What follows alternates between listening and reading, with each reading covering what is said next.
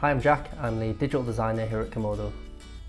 So the first thing we need is an artboard. That can be done one of two ways. Um, the first is just using your keyboard, um, the letter A, or you can go to insert and then you can add an artboard there.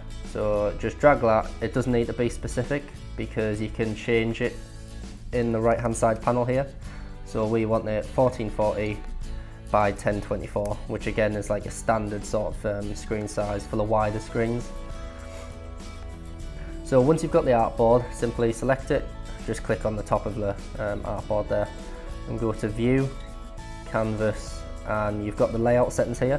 And to actually show the layout, it's just the button here, but there's the shortcut if you want it. So we're gonna go to layout settings, and then it'll pop up with a little modal at the top of the screen here. Um, so this is all your settings for the layout. So we want it 1170. Again, that's the sort of the size that we found to be best um, for a, for our devs to build on the responsiveness layer. Um, we want the gutter on the outside so as not to interfere with the actual column sizes, or the gutter width, sorry. Um, and then we want the offset to be 135 pixels. And you'll see why in a second.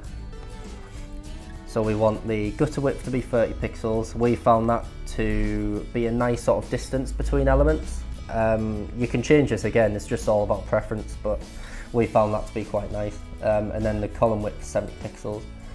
So the way this is worked out, with 12 columns, 70 pixels wide and with a gutter of 30 pixels, it works out at lat size 1170 and if you take this number here off 1440 you'll end up with 270 pixels.